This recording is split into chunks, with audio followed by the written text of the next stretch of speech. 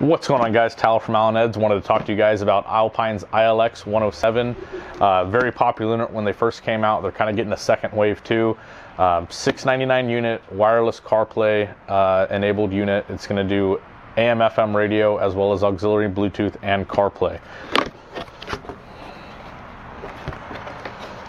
See all the wires and everything labeled there. You get the USB connection.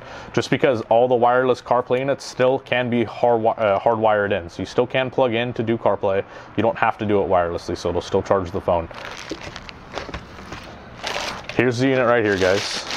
So again, just pretty much wireless CarPlay, wired CarPlay, AM, FM, as well as Bluetooth and auxiliary. Also has a rear camera input as well too. But like I said, really nice unit, guys. We sell a lot of them, really happy with them. Kind of getting their second wave back in. It's about a year old now at this point, but uh, 107, 207 Alpine units are still doing really good, guys. Thanks again.